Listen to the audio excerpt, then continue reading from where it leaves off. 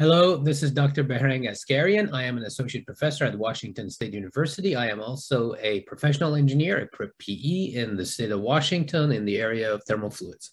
This video is going to be about engineering equation solver, uh, also known as EASE, EES. And it's a very powerful tool when it comes to solve fluid mechanics problems, thermodynamics problems specifically, and heat transfer, you know, things like that, thermal system design when you deal with pumps, you know, uh, turbines, you know, things like that. So um, in this short video, um, we're going to introduce you to EASE if you have never used it before. So you get uh, an idea how to use EASE and how it works, basic introduction, uh, you know, unit systems, uh, unit conversion, how it can convert units in it. Then we're going to talk about um, basic thermodynamics uh, functions in it basic functions that we use, like viscosity, you know, density, specific volume, enthalpy, entropy, things like that. And um, then we're going to talk about property indicators. These are very basic things in EASE. And at the end of this video, I'm going to solve one simple thermodynamics problem, a turbine problem, basically. And so you get an idea how things work in EASE. So let's get started. So part one is part A is basic introduction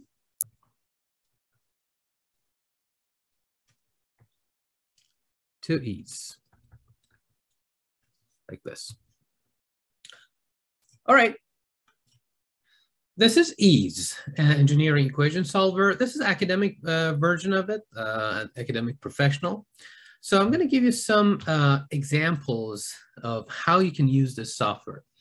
First, we're going to start with the, the basic idea, how EASE works. EASE works based on the number of equations and unknowns, variables. So basically, it always looks at a set of equations, a system of simultaneous equations. If you have like four unknown variables, you need to have four equations for it basically. If you go back to like high school when you solve like uh, linear equations, a system of like simultaneous equations, I can have an equation like this. I can say x plus y equals 1 and x minus y equals 6.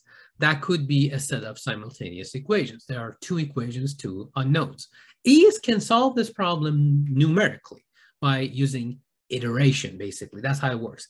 So there's this button here that solve F2, that if you push this button after you write your equations, and it doesn't matter in what order you write the equations, as long as you have enough equations and enough unknowns, it's going to iterate. EASE's default for the range of variables to, to iterate is actually negative infinity to positive infinity. Because this is a system of two linear equations, it doesn't matter. Sometimes in some equations, you have to define the range for ease. That would be a little advanced, but not that much advanced. But um, because it's just a basic introduction, I'm not going to get into that. So right now, this equation, we have two, two of them, x plus y equals 1 and x minus y equals 6. Okay, so I can run it. I can run it. EASE is solving it. It is already solved it, and it didn't take much time. Iter using iteration, continue. Now I have the answer. x is 3.5 and y is negative 0.25. Um, now you might ask, okay, so the font is small. Normally when you start EASE, you actually go to basics, like you go to options. You can go to options, you can go to preferences, and then you can change the font if you want. You can even use like Times, Times New Roman, you know, whatever you want. Uh, depends on the size of your monitor, whatever works for you, right? So I'm gonna pick Arial 12. For this monitor, small monitor that I have, uh, I guess that I'm sharing with you, this size works. If you have a bigger monitor, then you have to, uh, you know, make some adjustments. Okay, now I guess probably you can see it better. And when I solve it, again, it's the same thing. But you know what makes EASE powerful is that, uh, you know, I can actually add another equation to this. I can say x plus y plus z equals 1 and x minus y plus, I don't know, 2 times z equals six, that would be a different equation, right? And uh, let's see if we can solve it. Well, I can just write it and this didn't work. Why? Because I have two equations and three unknowns. I added one more unknown. I added z to this equation. Of course it doesn't work and it's gonna send you an error and you can see how that works. So I need to add one more equation to this. Let's say the other equation is two times x plus five times y minus z equals 8. Let's see if there's an answer. I just came up with some random equations. Uh, I hope this there's an answer to this. I think there is because this is a system of linear equations. So we can run it and looks like he solved it. And yes, x equals 17 and y equals negative 7 and z equals negative 9. So that was my system of equations. x plus y plus z is 1, you know, x minus 2, uh, x minus y plus 2z is 6, and 2x plus 5y minus z is 8. What makes ease powerful is the, um, like the thermodynamic functions. Before we get to that, I'm going to show you some really neat trick. If you, you look at this button, x equals y is the equation window that every time you want to go back to equations, you just push this button here. Equation window, control E. When you push this button, which is F10, formatted equations, these will show you the equations in the regular, the, the nice format that we are familiar with when you actually write it on the paper. And uh, it looks really nice. Look at this, x plus y minus z and x. This, this looks really nice. It's gonna look even nicer when it comes to thermodynamic problems. When you have like delta, you wanna show delta T, and you wanna show rho and density and tau, and you know, these um, Greek parameters and stuff. So the equations are going to look good when, it, when you solve a turbine problem or a Rankine cycle it says m dot and it shows m dot with the m with the dot on top of it. And so it, it, it's going equations are going to look really nice in these. And that's my that's one of the nice things about these. So um, so for now, we just covered the basics of ease. In ease, uh, what you need to know is that you need to have a set of equations and uh, for the n equations, you need to have n variables. That's like a basic, basic thing when you solve these problems. Now, the next topic is, okay, there is the idea of unit system and um, unit conversion. Now I'm going to talk about that. Okay, let's talk about part B of this uh, video. That is unit system in ease and unit conversion. Like this, okay? Let's do it.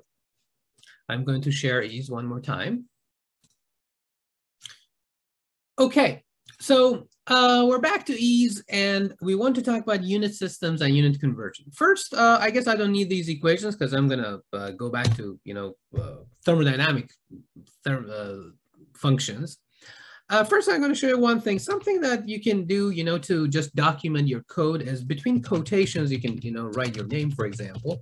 This is uh, my name. I just wrote it here. And then you can start with the problem. Okay, this is, these are the given values of the problem. When you, uh, you know, put the text in between two double quotations, basically you can document your code. And if you run it, basically nothing happens. And if you look at it in the formatted equation, uh, right now you don't see anything. If I add some variables, you're going to see them in blue, like the, the, the documentation in blue.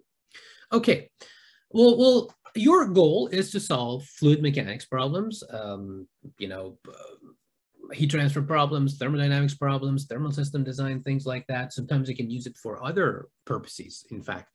Um, I have solved circuit problems using ease because it doesn't matter. It set, solves a set, set of you know simultaneous equations. Um, the first thing you do here, you go to options when you start an ease code after you document it with your name and everything, you go to unit system here. You go to unit system and then here we have different types of unit system. You have English unit systems. Well, I would say God may help you if you use English unit systems. So I usually stay away from it and I solve problems in SI units. You might say, okay, I need to solve the problem in English units because I need to need to have the final answer in English units. There is a way better, simpler way to get to English units when it comes to the final answer. Even if the given values are in English units, there is a way to convert them to SI units, solve the problem in basic SI units, and then pop out the final answer in English units. So that's my method and uh, I stick with that, and I usually uh, stay away from English units. Sometimes I can get away with it, but you know, in English units, you need uh, you need uh, you know slugs for mass, and that that that causes problems. So English is well, good luck with that if you want to use it, but I usually stick with SI units. You're, you can you can do different types of SI units. There is basic SI units, and you can never go wrong with basic SI units when you say, okay, so I'm going with basic SI. Mass is kilogram, temperature is Kelvin, and energy is joules, and pressure in Pascal. You can actually do it that way. That would be basic, basic SI units. Or sometimes you can keep it basic if you're not dealing with anything like ideal gas law and stuff or entropy in a way that, you know, you're applying the second law and you have Q dot over T or stuff like that, that you need Kelvin in terms of Kelvin, you can just keep everything basic as units and get away with everything, basically just using Celsius. So I'm going to show you, you know, what that is. So that's the first step. The question is, okay, what does that mean if I have units in ease? Okay, well, that's a very good question.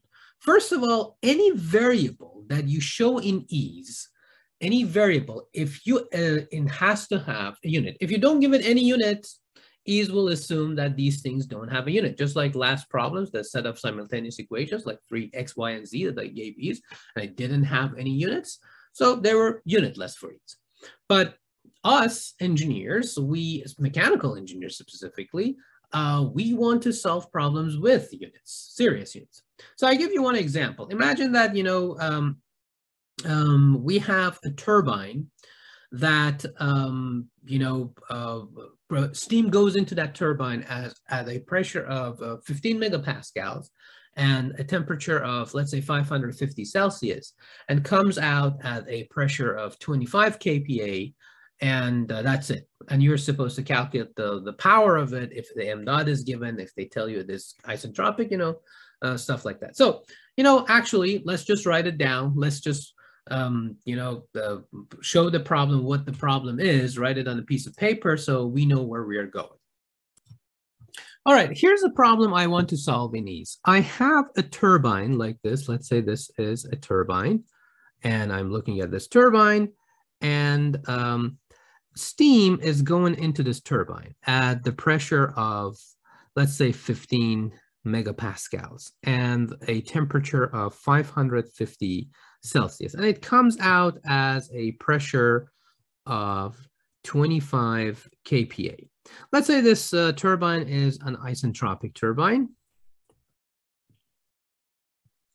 which means basically Q dot of this turbine is zero watts and uh, you know, entropy generation in this turbine is also zero. S dot gen is zero. So this is a turbine. I want to calculate the amount of work, W dot of turbine, that comes out is providing power for us. So that's our ultimate goal. We want to calculate this, but we need one more piece of information. We need m dot. Let's say m dot is also given as 15 kilograms per second. So this is our problem, our ultimate goal. Eventually, we're going to solve this problem in ease, and everything has units. You know, how do I solve this problem? All right, let's do it. Let's go back to ease and start solving this problem. But there are some basics I have to cover for you first. Because this is the first example, I'm going to basically solve everything in, uh, you know, basic SI units, except that I keep the temperature at Celsius because it's not going to cause me a problems because I'm not going to write equations that need Kelvin. If I'm dealing with ideal gas law, things like that, I have to write it. And uh, so I'm, I'll be fine. So one more time, let's go to options. Let's go to unit system. And the basic SI is mass is kilograms, Celsius, joules, and pascals. At the end, maybe probably I'll show you how to use like kilopascals and things like that, and we'll be fine. All right, so first I have to show the given values, whatever is given. Let's, let's uh, talk about those. Um, all right, so the pressure is given, this, these are the given values between turbine, uh, from the beginning of before the turbine. P sub in equals uh, 15 megapascals. Because my basic SI units, I chose basic SI units, I have to be consistent with the unit system I picked. So um, 15 megapascals is 15 million pascals. So I have to show it in terms of Pascal because I picked pascals as my unit system. Okay, the temperature, and here's the thing, here's the first thing that you learn here. In ease, you put the units in brackets like this. So every number that's supposed to have a unit, first you show the unit, then you show the unit. So first you show the number, the value of, of it, ma and magnitude of it, whatever you want to call it, and then the unit in brackets. That's what I did. Okay, that's what I had. What else did I have? I had pressure out, pressure that is coming out of the turbine like this. Okay, and what was that supposed to be? 25 kilopascals. So that is 25,000 pascals. I'm going to write it this way. You can write 25,000 into 25 E3. That is the, you know, the exponential form. So it ease understands, just like MATLAB. MATLAB understands it too. One thing I need to tell you that ease is not case sensitive.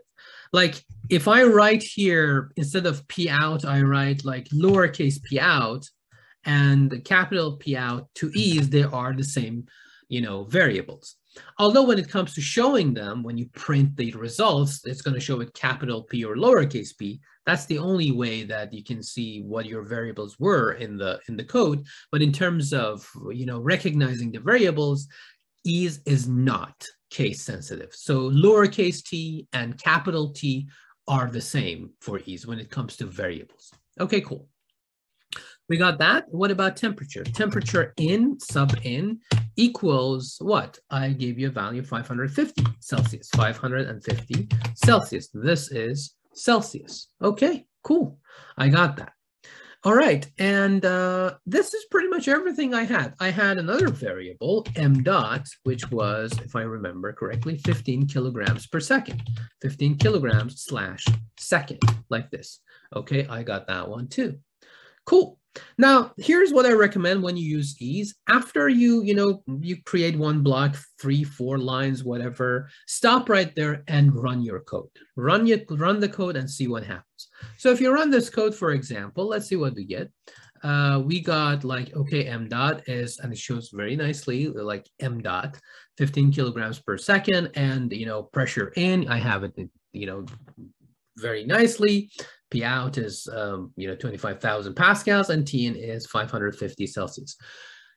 This, from now on, when you use ease, this is very, very super important that every time, every time that you run an ease code and uh, at every step that you are, you should get this message. No unit problems were detected. If there is a unit problem in your code, you have to fix it because there is a high probability that you wrote the equations incorrectly or used the wrong units or unit system. Your unit system is not consistent with your equations. Something bad is happening. So this is the, the very important step to avoid unit problems. Keep that in mind. Okay, cool. And um, uh, I'm going to show you how to solve some of these unit problems, but um, so we'll get there with Gear. So uh, this is what I recommend. When you write just a little bit of the code, run it. And if there's any unit problems, keep basically fixing those unit problems before go, you go to the next stage. Why? Because when you code like this, your error, the errors of the code are usually in the last lines. That's what it is. Basically, when you just write one line and you keep running it and you fix the units and everything, and you make sure everything is good to go, the error is in the last line of the code. That's a very good way to deal with. Sometimes you can't do it that way because sometimes you have to write a bunch of equations, seven, eight different equations, seven different unknowns, and then solve them simultaneously together. You can't take these steps, but as much as you can, do this, especially when you write the given. Um, I don't recommend writing the whole code at the very beginning from the you know beginning to the end and then running the code. You're going to encounter a lot of errors. Don't do that. This is a way better method, and uh, so it's going to save you a lot of time debugging you know codes. All right. So going back to the uh, this was this is a solution uh, you know window. I would like to go back to the um, you know the equation window, which I'm going to push this button. So uh, I'm back there. Now, uh, I would like to show you a couple of things. Um, you know, um, um, so I showed you the units, right?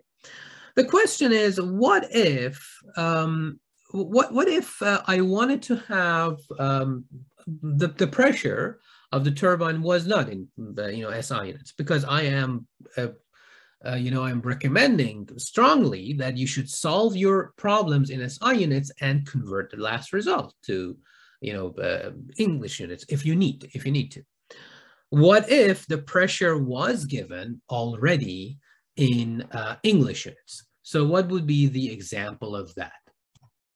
So let's go back to the same problem and imagine that all these values instead of SI units were given in English units. So how am I supposed to convert them to SI units, solve the problem in uh, SI units, and eventually pop out the final answer for W dot turbine in terms of English units, for example, BTU per hour, or um, you know horsepower, or whatever I want to show um, uh, I can do.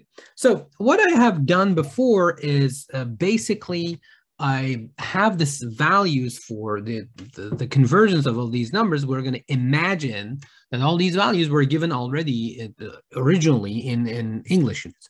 So for example, 15 kilograms per, per second in English units would be 33.07 pound mass per second. So that's, um, you know, for example, the inlet for, for M dot or P in in terms of PSI would be 2176 PSI. That's, that's, that value is, is exactly 15 megapascals, right? And uh, what else do I need to add? So temperature. Temperature in that is given as 550 Celsius in terms of Fahrenheit is 1022 Fahrenheit. And for outside here, P out, uh, in English units, 25 kPa is about 3.626 psi. And then we finally, in, in, in SI units, we want the value uh, in probably watts or kilowatts or megawatts, but in English units, um, maybe you want it in terms of horsepower, right? So what would be the value of it in horsepower if you're looking for, for that value? Uh, so that's going to be our goal. Now, so we're going to go back to the EASE code and we're going to pretend that all these values were given in, um, you know, uh, English units. And then how do we convert them to SI units? And then how we can solve the problem to get the exact, you know, the correct values. So let's go back to EASE again. Okay, so we are in EASE again. And this is the previous code. We didn't do anything. And we're going to do again, again this exact same thing. We go to unit system and we're going to keep everything as science. Why? Because I want to solve the problem in science. But there is a problem here. Everything, all the inputs are in English units. What am I going to do? So what am I, uh, what I'm going to do here is let's delete these values and type in the values right now, this time in English unit and see what happens. So that's what I'm going to do. P in, the variable is still variable, right? And then, uh, so I have to just convert them. P in as, uh, you know, was given was 2021 76 PSI. So this is how you convert stuff. You write the number, you show the unit like this, PSI in brackets, then use a conversion factor, which is called, which is uh, coming from a function called convert function in ease. The way convert works is like this. You do star times convert and then open parentheses. The, you want to go from PSI to Pascals because my basic SI is in the unit you know system. I picked basic SI. I use I picked Pascal, so I have to do Pascal. So what I, I want to go from what to what? I want to go PSI to Pascal because I want to solve everything in Pascal. So I go PSI, comma, Pascal like this. That's it. It's going to find a conversion factor from PSI to Pascal. We know that, you know, one PSI is about 6.895 kPa. That would be the conversion factor. So it's going to use it. So that would be 6.895 times the 10 to the third, basically Pascal. It's going to apply that and it's going to convert it to Pascal. P out was uh, 3.626 based on what I had, PSI like this, times convert I'm going from PSI to Pascal again, like this. Okay, what else do I need to do? Tn was, oh, this one is interesting. Tn is, um, is in Fahrenheit and I need it in Celsius.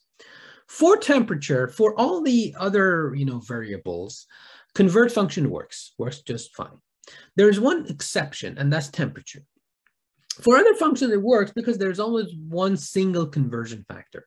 However, for temperature, that's not the case. For temperature, that's not the case at all, because if you want to go from Fahrenheit to Celsius, you have to first subtract 32, and then you'd have to divide it by 1.8 or something like that, right? Not something like that. That that's that's what it is. So it's not just a simple conversion factor. There is actually you have to subtract, you know, 32 to go from Fahrenheit and then divide it by 1.8.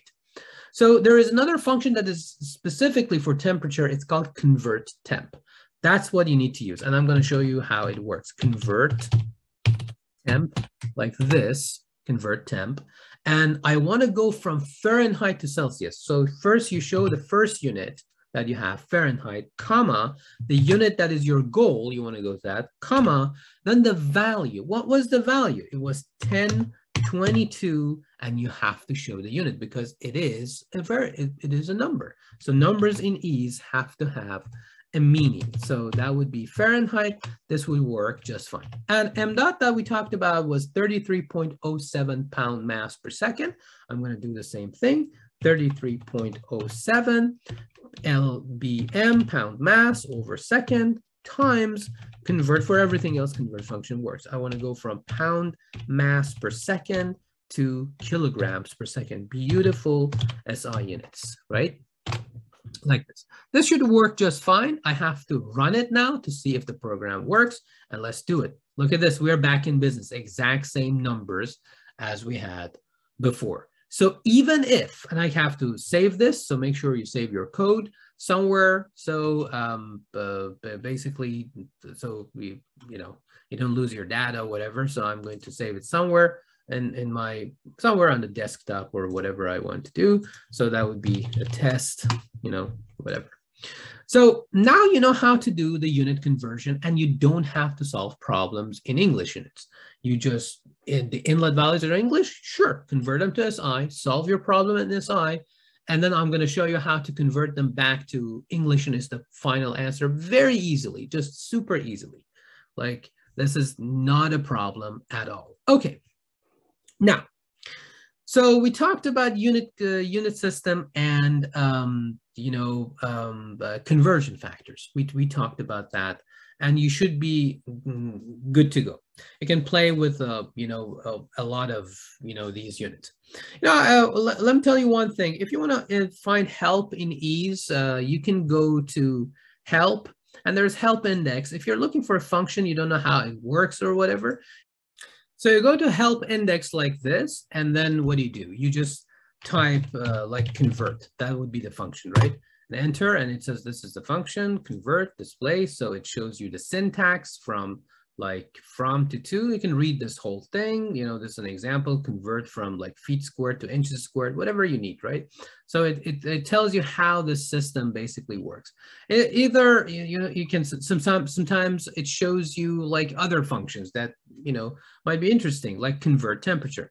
Uh, just like what I told you about temperature, it says note the convert function will convert temperature the differences, temperature differences, but it's not going to convert the value of a temperature. And for that one, you have to use convert temp. Yeah, so the um, the convert will convert temperature differences. For example, if you have like a 50 Fahrenheit difference between like, I don't know, 10 Fahrenheit and 60 Fahrenheit, if you want to change that difference to Celsius, that, yeah, you have to just divide that 50 by 1.8, and that would be whatever it is in Celsius in terms of difference. It does work so for delta T works, but for absolute values, when you talk about, okay, this is 550 Celsius, what is it in Fahrenheit? That's not a temperature difference. That's like the absolute value of temperature. Then you have to use the convert temp function. That's what I told you. And uh, you can read this whole thing. And every time you need any help with any function, you can just come here and, you know, um, uh, find the what, what you need. So now uh, our next step is basic thermodynamic functions. Because when I want to solve that problem, um, the, the turbine problem, then I'm going to need some thermodynamics functions. So what are basic uh, thermodynamic functions in ease? That's our next step. So let's take a look at our problem. Let's take a look at that problem we talked about. Let's write the solution for it. And uh, when we write a solution, we realize what, you know, um, functions we're going to need. So this is our problem. We're back to our problem. And uh, we need to have a solution for it before we go to ease and, and solve it. So let's see how I can find, what am I looking for? I am looking for W dot T that is coming out of the turbine. Uh, so I'm, I have two states. We have in and out. At in, I have Pn and I do have Tn. So this state is determined because I have two independent properties. I should be good to go.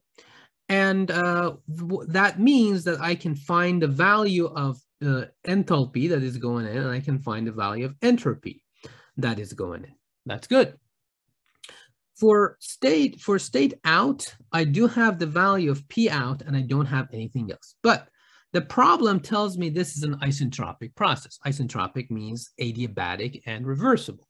And if you write the second law of thermodynamics, you're going to end up with the fact that, okay, S entropy has to stay the same. So this implies that S out is basically S in. So it looks like I actually do have two independent properties. I have P out and S out, and as a result, this state is determined.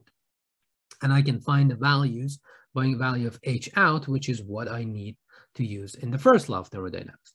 Now, if you write the first law of thermodynamics for this process, for example, you know, if you ignore the changes in, um, um, you know, kinetic energy and potential energy, this is the turbine, you know, steady state, the whole thing, m dot times h in minus h out like this equals zero. That's the first law of thermodynamics for this process? Well, uh, it's I'm looking for W dot net, and because it is isentropic, adiabatic, and reversible, Q dot net is zero.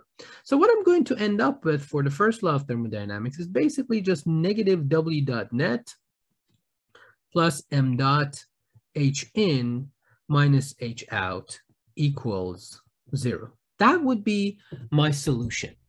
So I need to somehow find some values using EES. That's my goal. My goal is to find the value of enthalpy in, entropy in, and then uh, adding this equation in, the, in EES as S out equals S in, and somehow use that because that becomes two independent properties with the pressure out to find H out, and then I can get all these values and put them in the first law of thermodynamics, and I can solve the problem, find the W dot net. That would be my game plan in this case. All right, so now that I have, I know my game plan, let's go to EES and see how we can find, uh, you know, enthalpy and entropy. What's the, what's the plan here?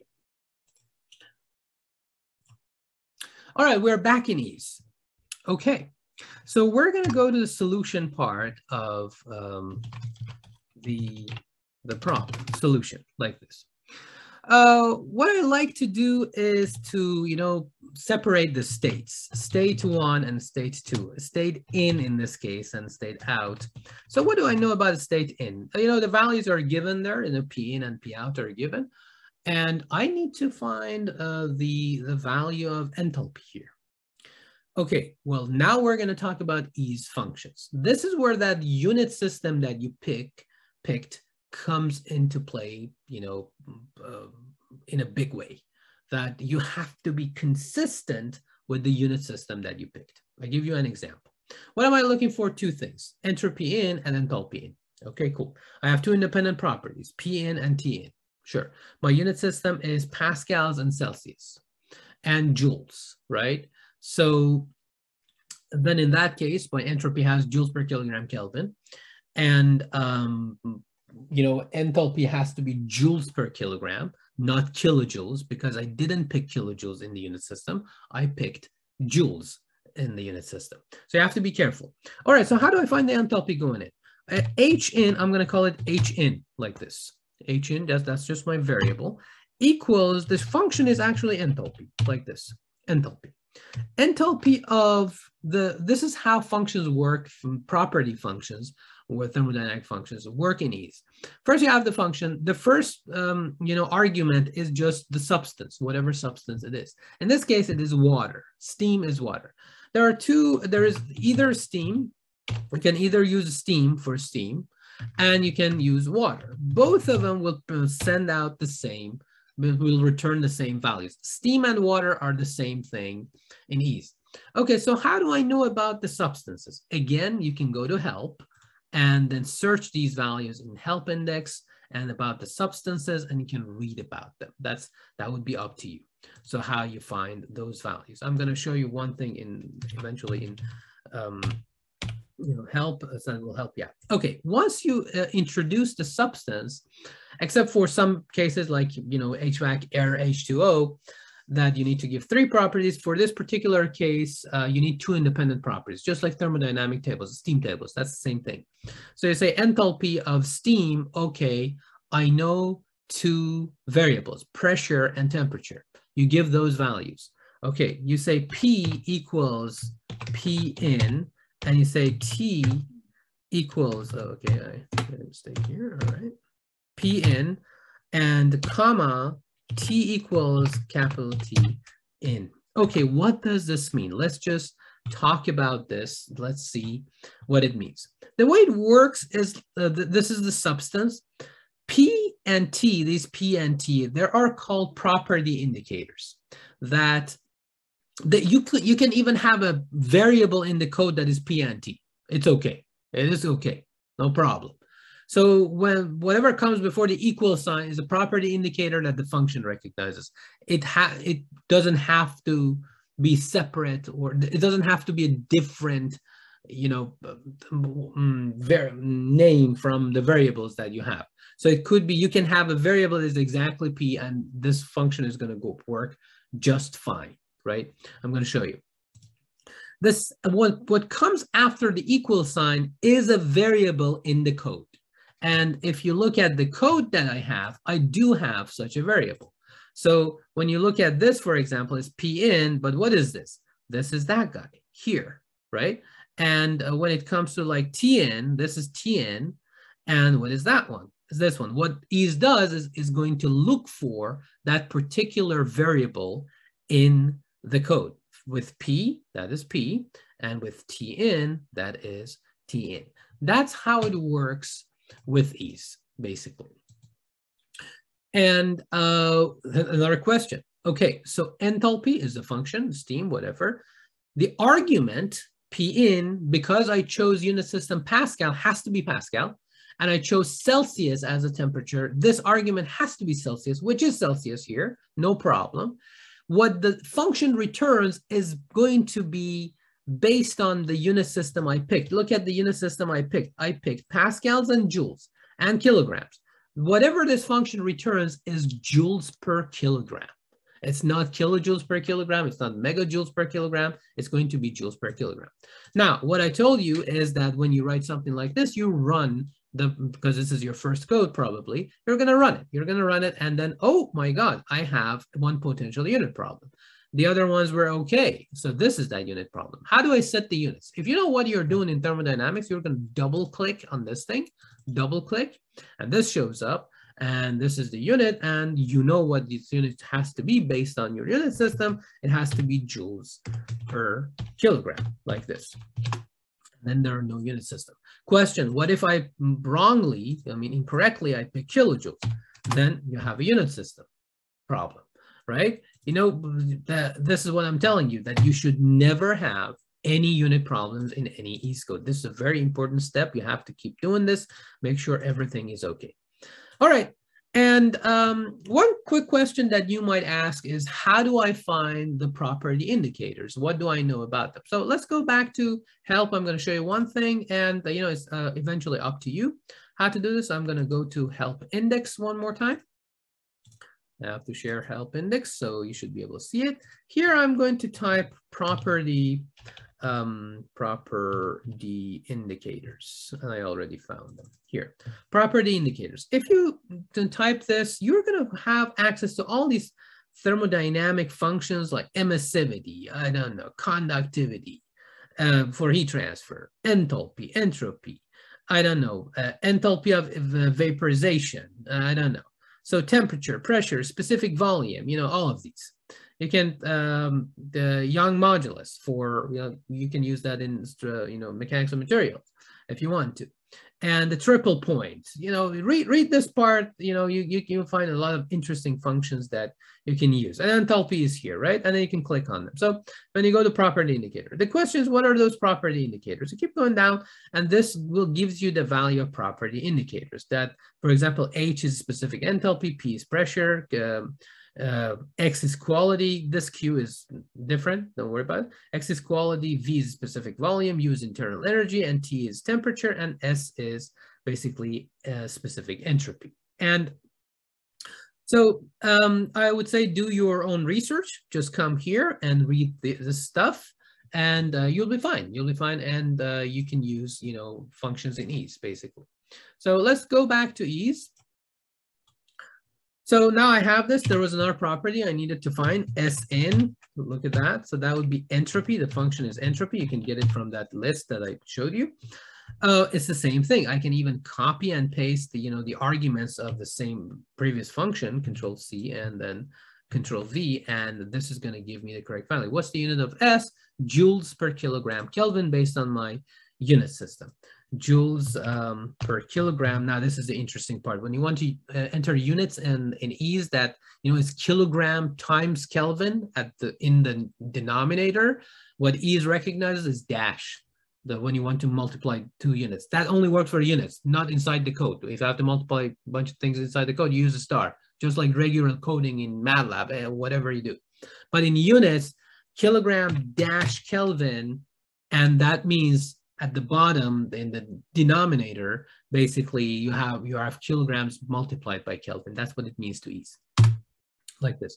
And you see, there is no unit problems. One quick question. Somebody might ask, okay, well, you chose the unit system as Celsius, and now you're entering Kelvin and you're not getting any unit errors. Why is that? Well, the reason is that um, right now I did not put uh, any entropy in any equation that I have temperature in terms of Kelvin. For example, if I was writing the uh, first law of thermodynamics, second law of thermodynamics, I'll give you one quick example like this. So if I had like the second law of thermodynamics like this as Q dot in over T boundary in minus Q dot out over T boundary out, plus m dot in s in minus m dot out s out plus s dot gen equals ds cv dt. That's the second law of thermodynamics, right? In this case, these temperatures have to be Kelvin. If I wrote an equation like this in my code and I do Celsius, I'll be screwed. You can't do this. But because I don't have such equations, because I don't have such equations, I can get away with it because I just know the value, I'm returning the value. And here's the thing, the temperature difference, temperature difference in Kelvin and Celsius are the same. The temperature difference is the same. For example, um, the, that's the same case with like a specific heat, right? Uh, specific heat, you're like joules per kilogram Kelvin. Yeah, even if you write joules per kilogram Celsius in the code, and uh, sometimes you can get away with that and uh, that's not a problem. So um, keep that in mind. Why did this Kelvin work here and uh, didn't cause any problems? However, if you type like kilogram Fahrenheit, no, no, no, no, no. That's not gonna. That's not gonna work. Definitely. So because def difference in Kelvin and Fahrenheit, you see this? You see what happened? Difference in Kelvin, they're not the same. And here's the thing, one more thing. In SI units, joules per kilogram Kelvin and joules per kilogram Celsius, they have the same value because it's based on temperature difference. So um, keep that in mind. That's why it didn't, uh, you know, cause any errors. All right, so it's all the, uh, you know, uh, you're you're getting a hang of it basically at this point. All right, H in and S in. I have it. Let's go to a state out. That's the second state of the problem when it comes out of the turbine. Uh, I need two independent properties. Uh, well, first I need to find uh, the entropy out. S out, because it is isentropic, equals S sub n. I can even, you know, add a comment here because this is isentropic. So don't worry about it. It is isentropic, isentropic turbine. So these has to be, these have to be the same. And now that I have two, a pressure and a temperature and then entropy, I can actually solve the problem, find uh, H out, which is what I need for um, my first law. H out is enthalpy of steam, like this. And when property indicator for entropy for the argument of the function is S. Very intuitive, you know that. Equals S out, like this. I explained how this works before. I'm not going to explain it again. And pressure is P out. So make sure that these are consistent with your variables in the code. So run it, and now you have another problem because, well, I have to find the, define the unit here. What's the unit of this? Joules per kilogram. And uh, well, why do we have another unit problem? Because there's another S that showed up. I have to take care of this guy too. So joules per kilogram Kelvin. Now I don't have any unit problems. I make sure I save this and I go back to my code. Right now, I have solved everything. Now, the only thing that was left was the first law of thermodynamics. Based on whatever I wrote on the paper, if you didn't see it, just, you know, go back and watch that part in the, in the video. Based on first law of thermodynamics, uh, I showed you that Q dot net equals zero. I have to give it a unit. You can't just write zero, watts, because I am doing joules. My unit system is joules, so you know, the unit of uh, power has to be watts because it's joule. If I was doing kilojoules, this would be kilowatts. So you have to be consistent. Q dot net is uh, zero watts. All right, cool.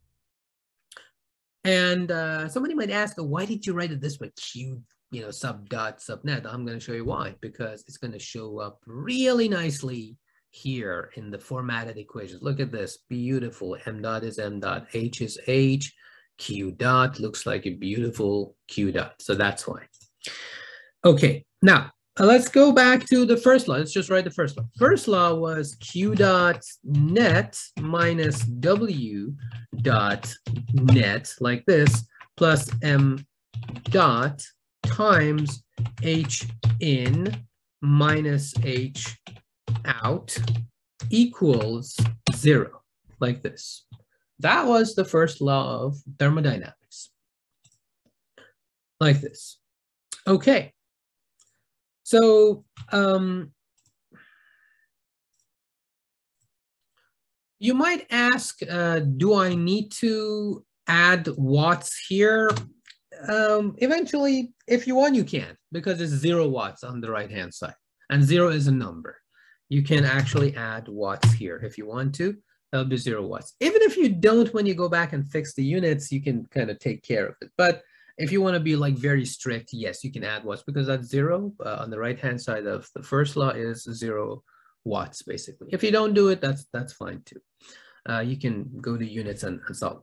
So when you, uh, so then the next thing it would be just to, you know, run it okay, I'm going to run it. So I'm going to run it and then everything is okay. Well, except I have one unit problem. This is it.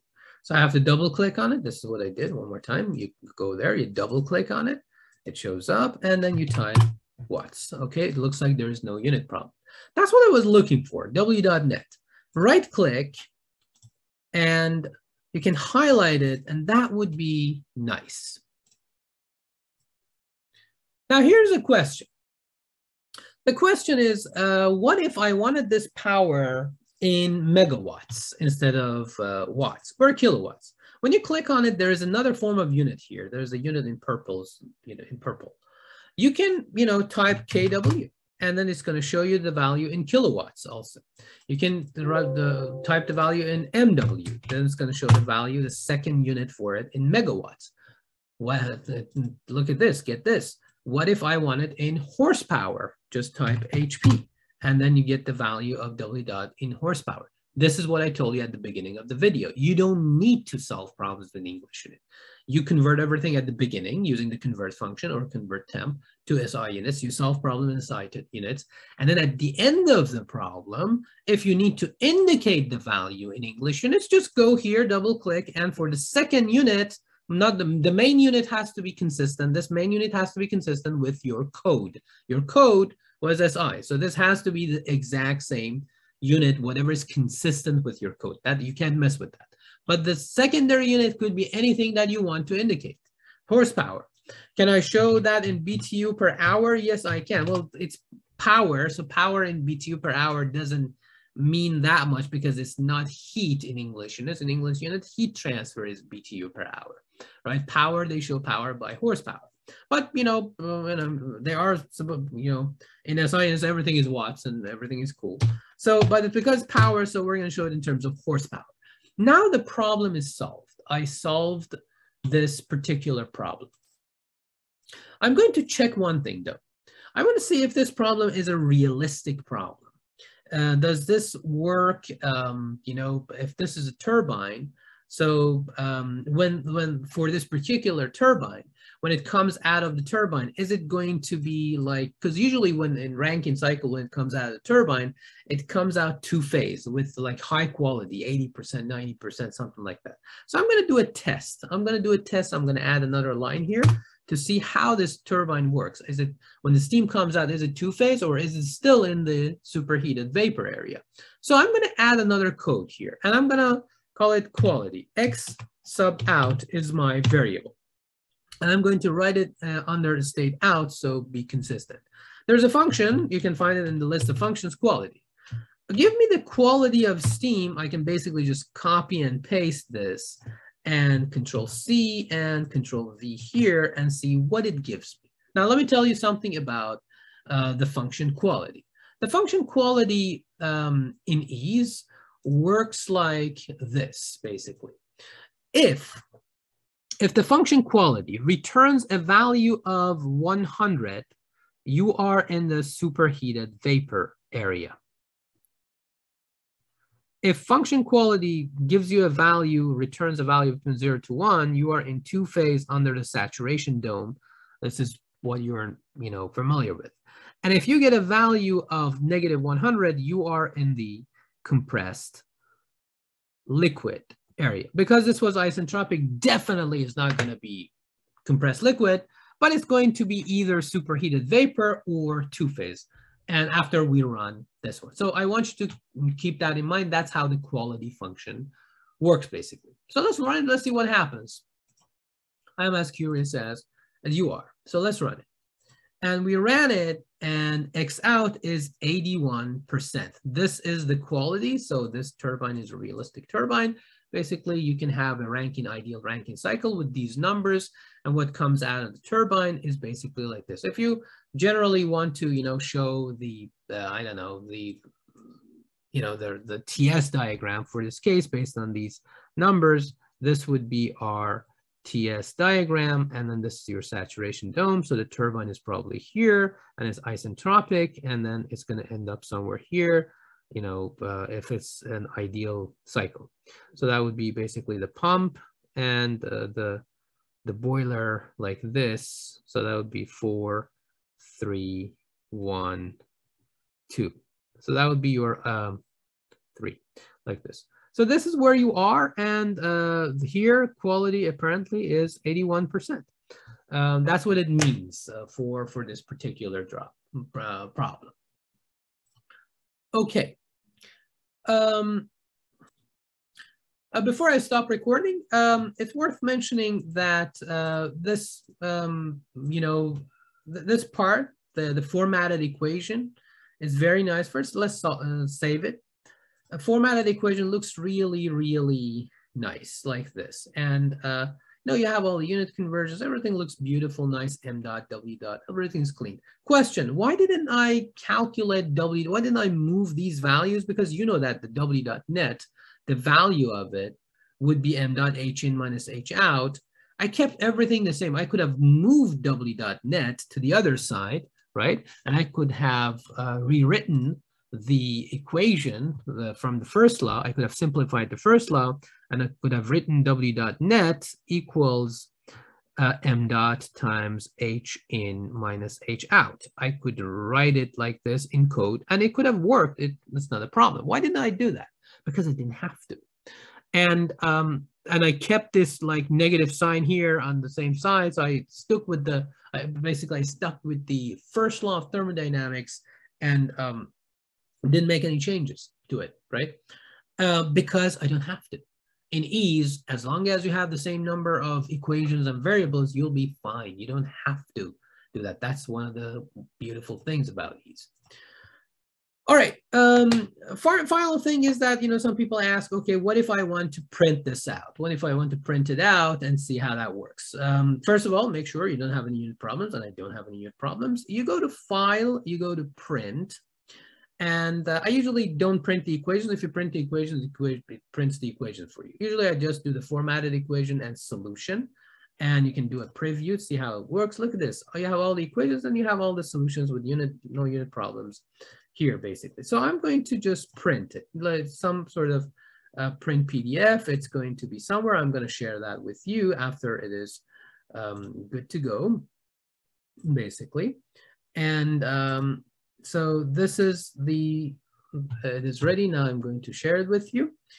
So this is the solution after it is uh, printed, basically and it looks very nice. You can see, you know, I have my name at the beginning, all the comments, you know, P in, whatever the conversion factor was in PSI, but we converted to Pascal. We solved the problem, and at the end of the problem, you have the solution, and the solution values are highlighted. Very, very clean and neat. You have basically everything. All right. So I hope um, I hope that you learned something from this video and uh, make sure to subscribe to this channel because I try to you know upload uh, almost one video a day in the area of thermal fluids and I'm going to upload more videos about EES and uh, you know this this uh, wonderful um, uh, you know uh, software basically. Uh, thank you very much. And, uh, have a good day.